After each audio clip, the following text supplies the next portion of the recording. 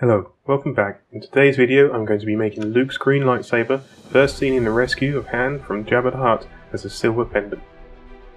The design is fairly straightforward and requires the use of few tools. Mostly I'll be using the lathe to profile this silver rod. Using cutting tools and files allows me to create a distinct profile of the lightsaber hilt. This triangle needle file lets me put the grooves needed for the top section of the lightsaber.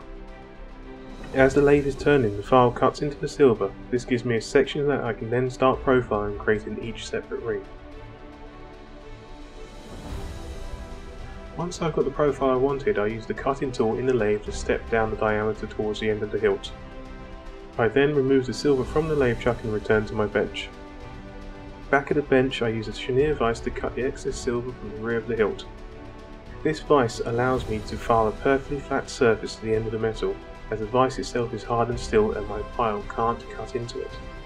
Now that I'm happy with the length of the hilt, I go back to the needle files and emery paper to start cleaning up the surface and give a slight radius to the end of the hilt.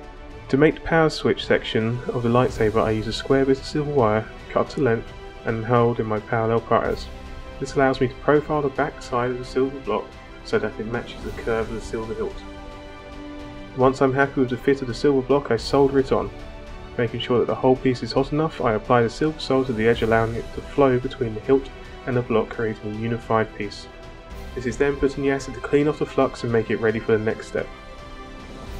A soft brass brush cleans the surface of the metal, removing any parts the acid bath missed. Now that it's clean, it's time to make the bail for the chain to flow through. I filed up a rectangle of silver and soldered it to the end of the hilt. Then after it was soldered, I profiled it and drilled a hole through the centre, which I opened up using burrs and needle files. I used three different steps in polishing. This first mop uses a heavy polishing compound to smooth the majority of the surface, getting rid of the larger marks left over from the emery paper. Then onto a final bristle brush to get into the small grooves of the lightsaber. This uses the same polishing compound as the previous. And finally, a soft rouge mop. This allows for a high polish finish of the part. Once the part is finished, I can now add the chain.